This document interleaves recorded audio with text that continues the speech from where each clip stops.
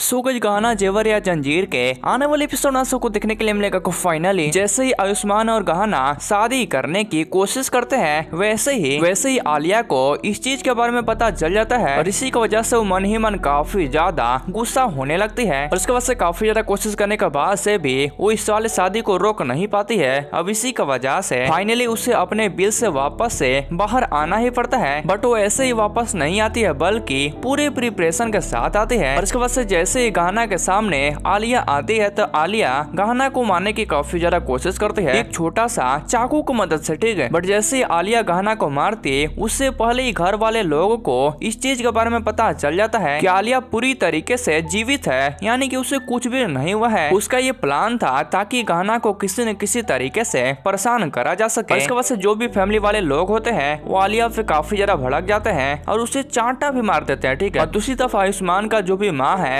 उसका जो भी उम्मीद था आलिया को ऊपर अब वो भी टूट जाता है सुबह के ये सब स्टोरी जो आपको आने वाले एपिसोड के अंदर देखने के लिए मिलेगा बाकी आज के इस वीडियो को ही पेन करते हैं सब्सक्राइब कर देना चैनल को